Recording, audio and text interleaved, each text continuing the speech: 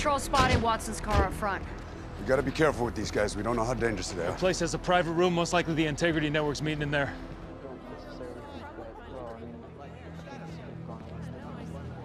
Whoa, whoa, they're here. Cops! Hey, LAPD! Hey, oh, ah, stop where you are! We got rabbits. Hey, no, no! Do not down! Hands behind your back! 26 David, two suspects in custody.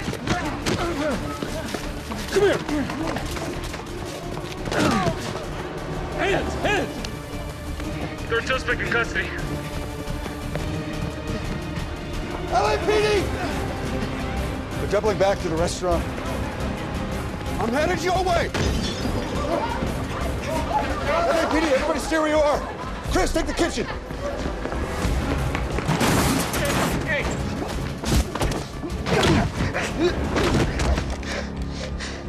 Twenty-four, David. I got the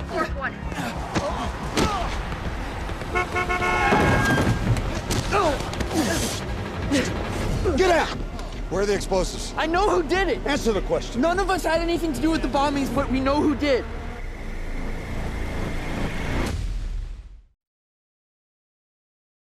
So it wasn't you, but you know who bombed the drill sites this morning, and you decided not to call the cops because Well, I don't know their names. This is just noise. We showed up and he took off like a rocket. The second I heard about the bombings, I knew the cops would think the Integrity Network was involved. You scouting out the Compton drill site a month ago? Doesn't look good. That was us filming. We are making a documentary about the LA Derricks.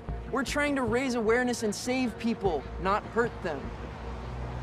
All right, talk to me about these no-name bombing suspects. The Integrity Network does on-campus recruiting for our projects to get volunteers. A couple weeks ago, these four guys show up, older and madder. Mad at you? You're already protesting the oil companies. Well, apparently not enough. After my speech, one of the guys hijacked the mic and went off about us being weak. He advocate for violence? Well, he said that the wells will never be shut down voluntarily, and in order to really stop the drilling, we have to take them out.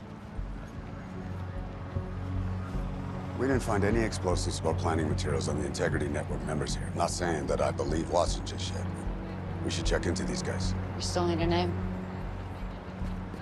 You documentary guys film everything. Did you tape the recruiting session these guys crashed? Yes. We're gonna want to look at that footage.